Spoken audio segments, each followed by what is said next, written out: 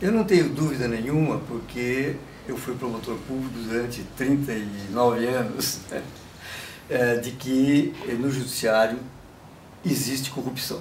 Em toda corporação, a corrupção vai ganhando espaço. Então, eu, eu vejo o judiciário como uma parte da sociedade onde a corrupção também permanece.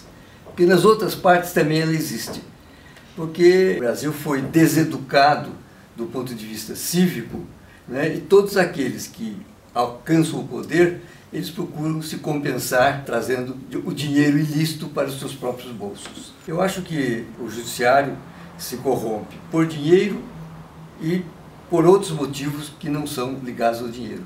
Né? O problema é que o amigo do amigo está pedindo para o juiz decidir desta ou daquela maneira.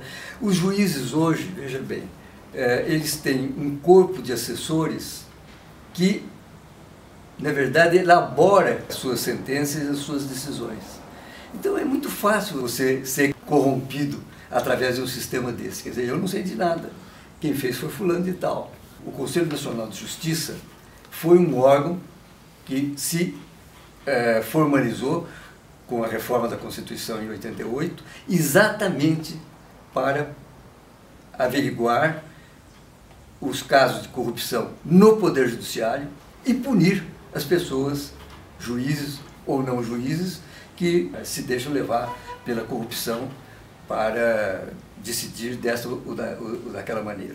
Né? Porque eu acho que a corrupção não é apenas do dinheiro, a corrupção é a maneira de você manobrar a parte corrompida para que ela decida de acordo com o seu interesse.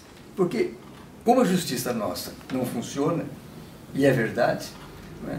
é, existem causas que estão aí é, levando 10, 20 anos para serem resolvidas, quer dizer, quando elas são resolvidas, elas não preenchem mais as suas finalidades.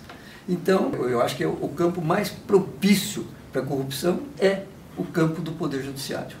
E exatamente porque se instituiu o Conselho Nacional de Justiça para examinar investigar esses casos e punir as pessoas responsáveis. Olha, veja agora, estão querendo mudar essa história. Quer dizer, o Conselho Nacional de Justiça não poderia mais, segundo uma possível decisão do Supremo Tribunal Federal, impor penas aos juízes que estão, como é que se diz, usando da toga para oferir vantagens ilícitas. Mas como você vai tirar do Conselho Nacional de Justiça esse poder? Esse poder é da maior importância. Né? Eu acho que essa desembargadora, que é a corregedora, ela está agindo com muita firmeza, com muita dignidade e tendo em vista o bem comum.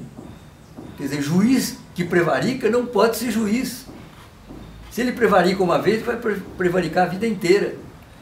E tem que punir, tem que fazer investigação, levar a, a, a punição e excluir dos quadros da magistratura, tem que limpar a magistratura.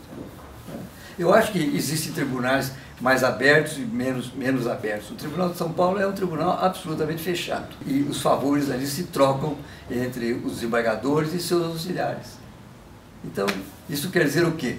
Quer dizer que nós não temos justiça.